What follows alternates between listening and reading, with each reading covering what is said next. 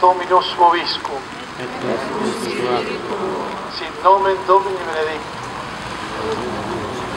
Adiutorium nostrum in nomine Domini. Qui facit celum et terram.